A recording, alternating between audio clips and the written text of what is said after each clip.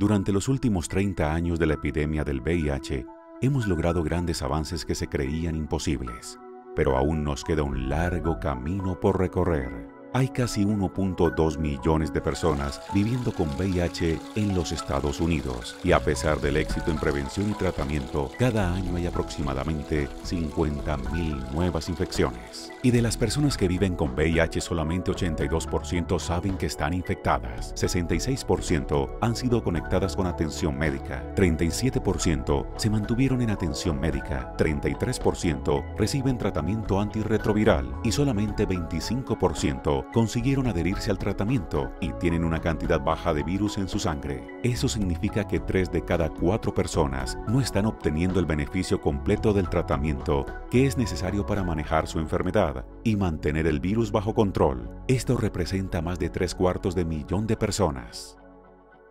Pero, ¿qué pasaría si transformamos nuestra respuesta para impactar las causas sociales y económicas del riesgo?